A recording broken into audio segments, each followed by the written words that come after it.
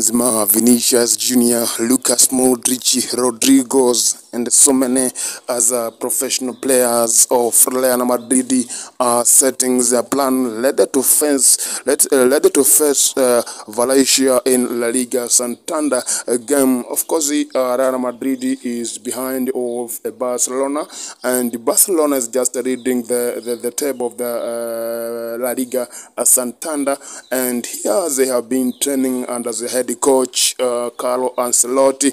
Uh, of course, uh, this is Karim Benzema, uh, Kamavinga, and Vinicius Junior. Of course, uh, Courtois also have been training here. Uh, uh, Eden Hazard, fantastic training, and they have been trying to make things good, fantastic and a crucial one. As you have just see here, they have been uh, striving to make sure that the uh, La Liga Santander trophy is on their side. That's what they think and that's what they're planning in one way or another. That's their uh, primary plan of being uh, training here right now. And Real Madrid is just uh, gearing up to face.